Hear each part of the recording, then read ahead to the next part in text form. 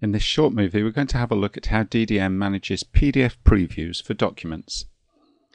This new functionality is available in Design Data Manager 2011.1 with date codes of 11.10.07 and later. So I'm going to have a look um, at some documents I have in the system. In this case, it's a quality manual. Um, and if we right click on this document, we'll see that we have uh, an option to view the preview or the PDF preview of this document. Currently, there's no preview available, so we need to have a look at how we create uh, this PDF preview. So I'm going to open the document in the normal way. Uh, in this case, it's a Word document. And we're going to use uh, the standard applications save as function to create a PDF of this document. The name must stay the same and it's stored back to the same directory that the document has been loaded from. Select Save and the PDF file is created. Now when we store this document back to DDM we have the option to overwrite um, so we're updating the document and this is now created um, a PDF preview of the document and we can open it from our right click menu or by double clicking um, in the properties area um, on the application icon.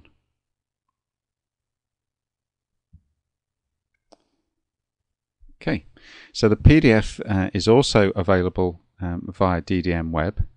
So if we open our web client and log in uh, as the same user, and we're going to search under documents for the document that we've just um, attached a PDF to.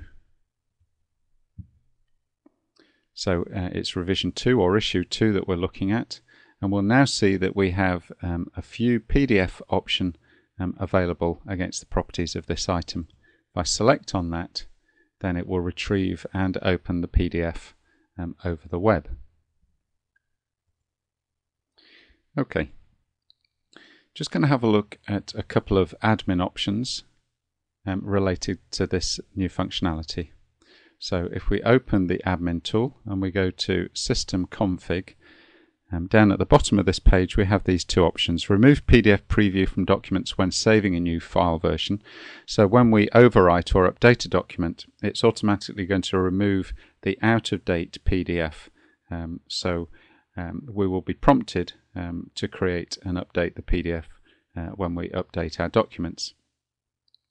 The second option is to remove the PDF preview from documents when upissuing. So when we upissue a document, um, the PDF will automatically be out of date on the new issue, uh, and so we should remove um, that PDF preview uh, as we upissue.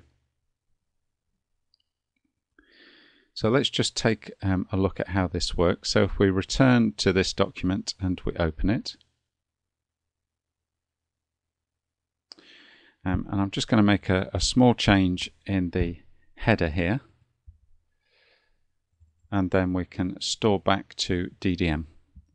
If we select overwrite, we're being told that the existing PDF preview um, has not been updated and will be removed. So really this is um, doing the housekeeping for us in removing the out of, out of date PDF and also reminding us that we should be creating a new one. In this case, I'm not going to create a new one just now. First of all, we want to confirm that the PDF preview has been removed. So if we take a look at the preview, again, there's no preview available.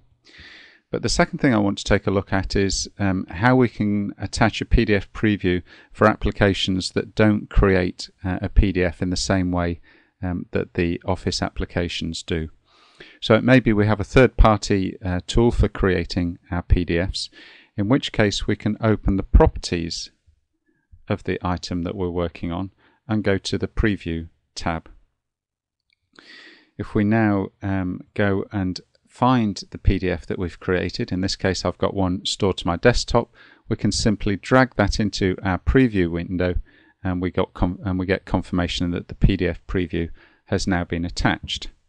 Just to confirm that, we'll return to DDM, look at our preview, and again the preview will open. So that concludes this short presentation on how to manage PDF previews for documents in DDM.